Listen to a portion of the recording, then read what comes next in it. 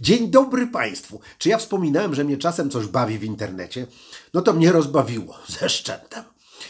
Ja nie będę oryginalny. Mam albowiem chęci szczere, by przedstawić pewne zdjęcie, co mnie dostał messengerem.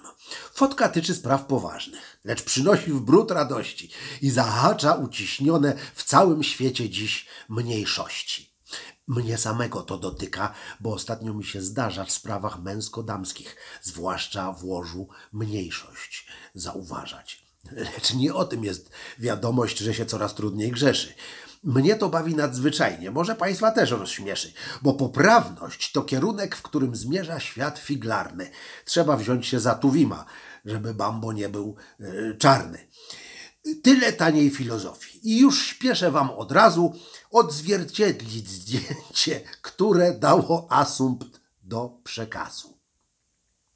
Odzwierciedlić.